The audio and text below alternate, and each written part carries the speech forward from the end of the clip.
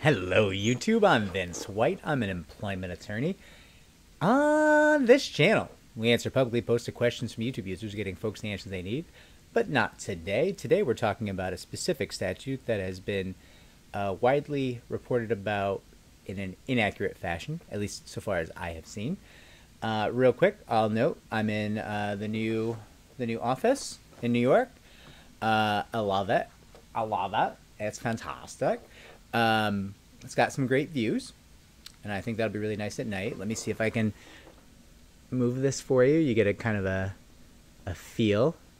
It's you know, it's not nothing. It's not nothing. It's it's nice. It's nice. Um, all right, we got to talk about the rape is rape bill. Fantastic law.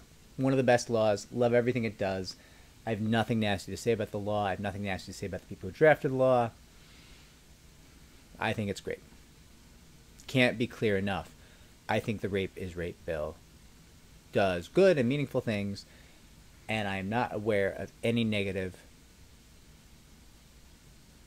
tied to that bill whatsoever. However, whatsoever, however, um, there have been some influencers and a couple of journalists who have put out headlines and articles claiming that the rape is rape bill makes all workplace sexual harassment become the criminal offense of rape. That is patently false. I don't think you should hate those influencers. I think they read articles that were inaccurate that may have now been repudiated or taken down. Um, but I've been seeing this for a couple of days. And when I first saw it, I was like, that seems amazing for plaintiff side employment attorneys if it's true. But it did strike me as something that probably couldn't be true, right? so, like, forcible touching could be you know somebody walking up to you in the in the workplace and like touchy touchy touchy touchy and like poking you in the forehead right like that could i mean i don't know. I don't know the, the elements of the criminal offense of forcible touching but you know is is poking you in the forehead sexual harassment? It's unwanted touch so maybe but it's it's probably not groping. It's probably it's it's certainly not rape right? It's rude. It's obnoxious. It's a good reason to terminate someone. Um, but it's probably not rape as we understand the word rape in our society, and it's probably not rape as the criminal justice system defines rape. We can probably agree on that. Should should it carry a 30 year penalty? I mean, that person poking you in the forehead is pretty annoying. I, I don't know. But I think we can probably agree that rape is more egregious, more horrific than the, than the forehead poker. And or the creepy I'm going to give you a back rub guy in the workplace like those forehead poker and the back rub guy those are bad guys. They're doing bad things. But they're not committing the criminal offense of rape right? So I went ahead and took a look at the law and I was pretty sure in my reading of the law that what those journalists and influencers were saying was simply objectively false. There was nothing in the law whatsoever that reflected what they were saying. And I think that's why some of those articles are already down, as they should be, right? Journalists should be uh, responsive when they make mistakes. They should probably print retractions instead of just taking articles down. but listen, it's not like I attended journalism school. I, I don't know the proper what for of how this stuff gets done. But my reading of the law as a civil attorney, attorney who works with civil laws, it, it, was imperfect because I'm not a criminal attorney. It's not what I do. It's not my expertise. So I reached out to uh, a friend of the channel, criminal attorney Michael Lambert. We've had him on a couple of times. Uh, he is criminal attorney to the stars. He's represented such big names as El Chapo, right? Um, and listen, if you're a criminal attorney, hard to do something more meaningful than that, right? Hard to hard to be a more meaningful criminal. Allegedly. Or maybe now convictedly. Um, and Michael kind of. Sorry, somebody just messaged me about chickens. Um, he's pretty busy right now. So,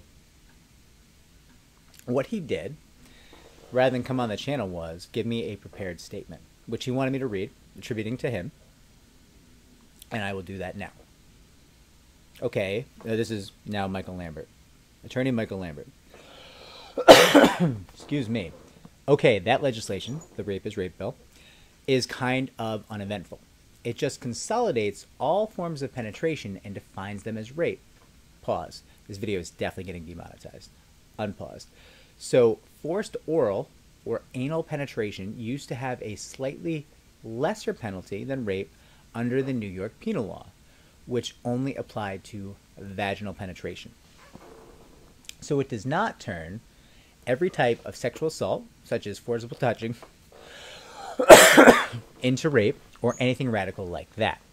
It was also designed to properly address and punish rape between two men, which previously was handled under an outdated sodomy statute, which is very disrespectful, and constituted a slightly lesser offense than rape itself.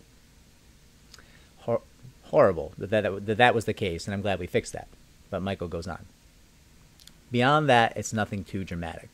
It basically cleans up and simplifies some unnecessarily fractured and complicated statutes regarding forced penetrative sex.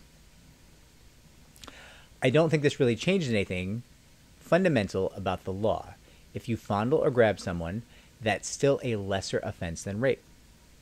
Any form of forced penetrative sex is now rape. Full stop. And that is from an expert, a subject matter expert. And I think um, it's important to get that out there. It's weird that I'm delivering the statement of a subject matter expert, but it was the only way to get it up right now. And I think it's important to get it up right now because there there does appear to be some active misinformation in the the blogosphere and the influencer zeitgeist right now. And as much as I'm all for stiff penalties for forcible touching, I do think we have to acknowledge it's not rape. And it there is some value in having a um, a varied set of penalties for a varied set of criminal offenses, right? There, there, there has to be some reflection that uh, different offenses are of different levels of seriousness and um, different people who have committed different offenses might be more readily rehabilitated than others who have done more horrific things. That some sometimes there's certain people who do things so horrific you're like I don't I don't know if that person can be re- rehabilitated. I don't know if that can happen. And I don't know that we as a society think that's true for a a forcible toucher, so to speak. But in any case, I wanted to get this out there. I think it's really important to get it out there. I hope you're all well. I'm um, going to shoot a collaboration with Eric Sarver tomorrow, I believe. I would love to hear all of your comments and thoughts about the Rape is Rape bill. I think it does a lot of good things. Love the law. I just wanted to correct the uh, misinformation. And uh, like, subscribe, comment down below, share the channel so it can grow. Take care.